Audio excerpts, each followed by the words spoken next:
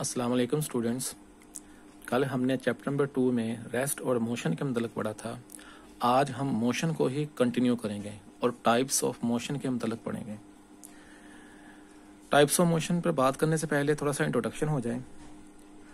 अगर हम अपने इर्द गिर्द चीज़ों को देखें तो तकरीबन हर चीज़ ही हरकत में है। इलामा इकबाल का एक बहुत ही खूबसूरत सा शेर है कि चलने वाले निकल गए हैं जो ठहरे ज़रा कुचल गए हैं तो हरकत में ही बरकत होती है। लेकिन इन हरकत का जो अंदाज़ा है, अंदाज है, वो मुख्तलफ होता है।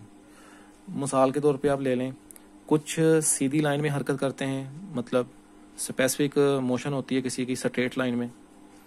कुछ खमदार रास्ते पे कॉर्ड पाथ पे हरकत करते हैं। कुछ कुछ ऑब्जेक्ट जो हैं, वो मखसूस पॉइंट के गिर्द हरकत करते हैं फिक्स पॉइंट के गिर्द हरकत करते हैं। रोटेटिव मोशन कुछ मखसूस, यानी कि पौधों की हरकत जो है, वो मखसूस होती है। उसके अलावा कुछ चीज़ों की हरकत बेतरतीब भी होती है। On the basis of these movements of object objects we can categorise motion in three forms आपकी बुक के मुताबिक मैं बात कर रहा हूँ कि हम चीज़ों की स्पेसिफिक हरकत की बदौलत उनको तीन कैटेगरी में तकसीम कर सकते हैं। और वो तीन कैटेगरीज कौन सी हैं? उसमें आप देखें फ़र्स्ट कैटेगरी जो है, वो टाइप्स है, जो मोशन की जो आपने पढ़नी है, वो है ट्रांसलेटिव मोशन जिसमें लीनियर आएगा रैंडम आएगा और सर्कुलर मोशन आएगी। रोटेटरी मोशन और वाइब्रेटरी मोशन तीन मोशन जो है, वो आपकी बुक के मुताबिक है। चौथी मैंने एज ए इंफॉर्मेशन आपको जो है वो इंफॉर्मेशन के तौर पे यहाँ पे लिखी है। देखें ट्रॉपिक मूवमेंट और ट्रॉपिज्म ये कौन सी मूवमेंट होती है? ये पौधों की मूवमेंट होती है, जो एक स्पेसिफिक वे में होती है। ठीक है? तो टाइप्स ऑफ़ मोशन में सबसे पहले जिस मोशन पे हमने तफसीलन बात करनी है, वो है ट्रांसलेटरी मोशन ट्रांसलेटरी मोशन या ट्रांसलेशनल मोशन अगर हम इसको डिफाइन करना चाहें तो इसकी डेफिनेशन है in translational motion a body moves along a line without any rotation this line में भी स्ट्रेट होगी तो लीनियर और कर्व्ड खमदार होगी तो सर्कुलर यानी कि ट्रांसलेशनरी मोशन में ट्रांसलेटरी मोशन में, एक जिसम a body moves along a line एक लाइन के तहत मूव करती है, हरकत करती है विदाउट एनी रोटेशन बगैर घूमे. और ये लाइन कर्व भी हो सकती है, या स्ट्रेट भी हो सकती है. ठीक है? ट्रांसलेटरी मोशन या ट्रांसलेशन मोशन को आगे तीन फर्दर कैटेगरी में तकसीम किया गया है। तीन टाइप्स इसकी जो है वो बनती हैं। उन तीन टाइप्स में हम बात करेंगे सबसे पहले जिस मूवमेंट की, वो है लीनियर मोशन जिसको रेक्टिलीनियर मोशन भी कहा जाता है। लीनियर और रेक्टिलीनियर मोशन सिंपल सी बात है, अगर कोई चीज़ स्ट्रेट लाइन मूव कर रही है, अगर कोई चीज़ सीधी लाइन में मूव कर रही है उसकी जो मोशन होगी, उस मोशन को हम नाम देंगे लीनियर और रेक्टिलीनियर मोशन। और इसकी डेफिनेशन क्या बनेगी? The motion of a body in a straight line. Sidhi line या ख़त मुस्तकीम, जिसको उर्दू में कहते हैं, ख़त मुस्तकीम, अरबी का लफज वैसे ही है। ख़त मुस्तकीम में हरकत, सीधी लाइन में हरकत रेक्टिलीनियर या लीनियर मोशन कहलाती है। अब एक मिसाल लें, मिसाल के तौर पे। मेरे पास एक ब्लॉक है।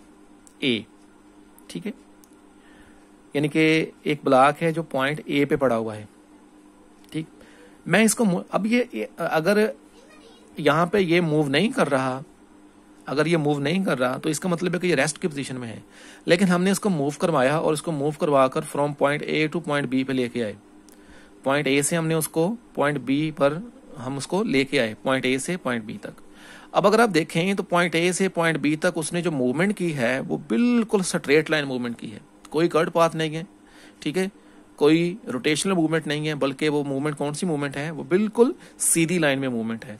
यानी कि हम यहाँ से उसको सीधी लाइन में पॉइंट बी तक लेके आ गए। तो ऐसी मूवमेंट जिसमें कोई चीज़ स्ट्रेट लाइन में मूव करे, सीधी लाइन में मूव करे, वो हरकत लीनियर और रेक्टिलीनियर मोशन कहलाती है। अब इसमें होता ये है कि क्योंकि ये जो हर चीज़ जो होती है, वो मैटर की बनी होती है। तो जाहरी बात है, ये ब्लॉक भी है मैटर का बना हुआ है तो मैटर जो है वो थाउजेंड्स मालिक्यूल्स और एटम्स वगैरह से मिलके बनता होता है। ठीक है पार्टिकल से मिलके बनता है। अब अगर आप इस ब्लॉक के, इस पार्टिकल को देखें, ये पार्टिकल यानी कि ये ब्लॉक पॉइंट ए से पॉइंट बी तक आया तो ये मैंने पॉइंट नंबर एक लिखा है। इस पॉइंट को देखें आप, इसका ये मालिक्यूल है, यहाँ पे मालिक्यूल है। इनके दरमियान में जब आप इनका जो डिस्टेंस मेजर करेंगे और इसका और इसका डिस्टेंस मेजर करेंगे या इसका इसका डिस्टेंस मेजर करेंगे तो वो आपको बिल्कुल इक्वल नज़र आएगा। उसकी वजह क्या है?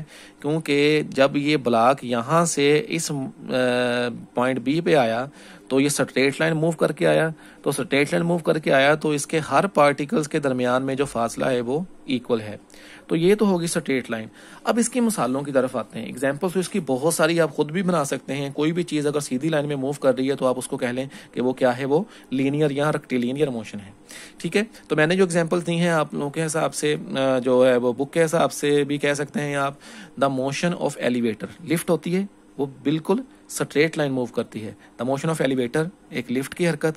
The motion of planes in the sky आसमान पर उड़ते हुए जहाज़ों की जो सीधी हरकत होती है, ठीक है? जहाज़ सीधे उड़ते हैं। The motion of car on a straight road यानी कि एक स्ट्रेट रोड के ऊपर चलने वाली कार बाईसाइकिल ठीक है? या मोटरसाइकिल, बाइक, कुछ भी चीज़ें आप ले लें, जो कि स्ट्रेट लाइन मूव कर रही होती हैं, उसके अलावा अगर आप देखें तो अगर आप ऊपर से कोई चीज़ को गिराएँ तो वो वर्टिकली नीचे आ रही होती है। इसका मतलब है वो भी स्ट्रेट लाइन मूव कर रही होती है।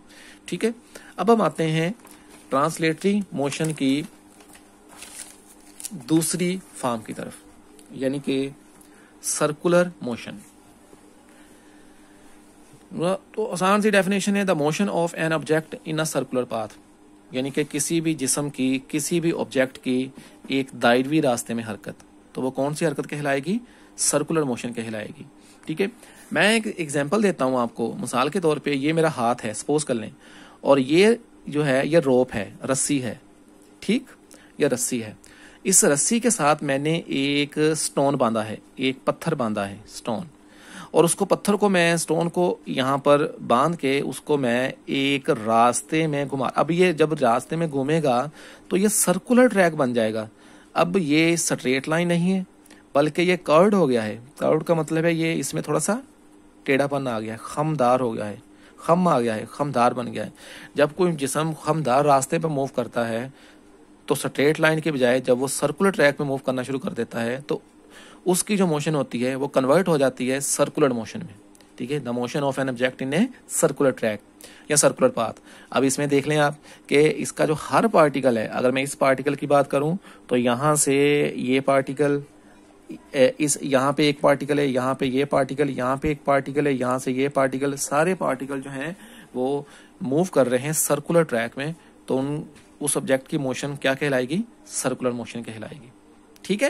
एग्जाम्पल्स की बात कर लें तो एग्जाम्पल्स भी आप इसकी आप खुद भी बना सकते हैं। बहुत सारी स्प्रिंटर स्प्रिंटर कहते होते हैं जो एक सर, सर्कुलर ट्रैक के ऊपर या एक ट्रैक के ऊपर दौड़ने वाला खिलाड़ी होता है। स्प्रिंटर एक स्प्रिंटर की sprinter is moving in a circular track एक सर्कुलर ट्रैक पर एक स्प्रिंटर भाग रहा है तो वो सर्कुलर मोशन कर रहा है.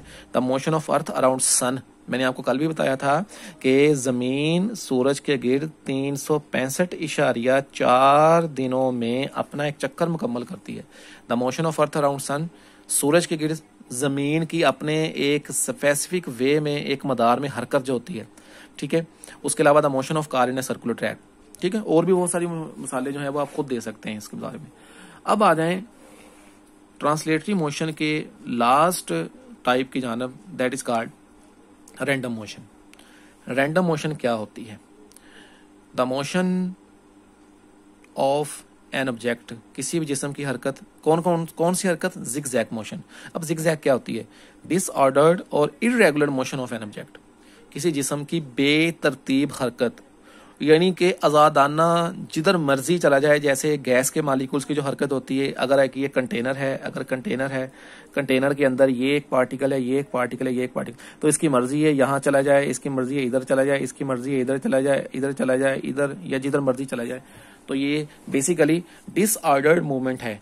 डिसऑर्डर इरेगुलर मूवमेंट है। ये रेगुलरली मूव नहीं कर रहा, ना ही ये स्ट्रेट लाइन में मूव कर रही है, ना ही ये कर्ड पाथ में मूव कर रही है, बल्कि ये जिग जैग तरीके से इरेगुलर मूवमेंट कर रही है। द डिसऑर्डर और irregular motion of an object is called random motion that it is also called disorder motion it is also called zigzag motion ठीक है? इसकी एग्ज़ाम्पल की तरफ़ आए तो एग्ज़ाम्पल भी इसकी बहुत सारी एग्जाम्पल्स हैं। कुछ एग्ज़ाम्पल मैंने आपको यहाँ पे लिखी हैं, आप देख सकते हैं।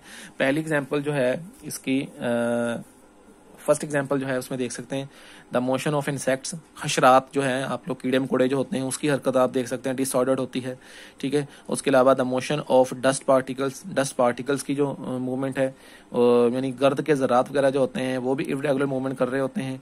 द मोशन ऑफ़ बर्ड्स, परिंदों की जो हरकत होती है, और बहुत सारी इसकी मिसालें हम दे सकते हैं जो इरेगुलर होती हैं। उसमें आपकी साइट इंफॉर्मेशन में वहाँ पे लिखा हुआ है, ब्रोनियन मोशन ब्रोनियन मोशन। ये ब्रोनियन मोशन क्या होती है? रैंडम या इरेगुलर या disorder motion of gas molecules gas molecules की जो रैंडम मोशन होती है, उसको ब्रोनियन मोशन का नाम देते हैं। Random motion of gas molecules ठीक है? तो आज के टॉपिक में आपने टाइप्स ऑफ़ मोशन में पहली टाइप जो थी ट्रांसलेटरी मोशन उसकी फर्दर तीन types linear motion random motion और सर्कुलर मोशन के मतलब पढ़ा आई होप आपने अंडरस्टैंड कर लिया होगा। कल हम इसकी अगली टाइप जो है रोटेटरी मोशन उसके बारे में बात करेंगे। अल्लाह हाफिज़।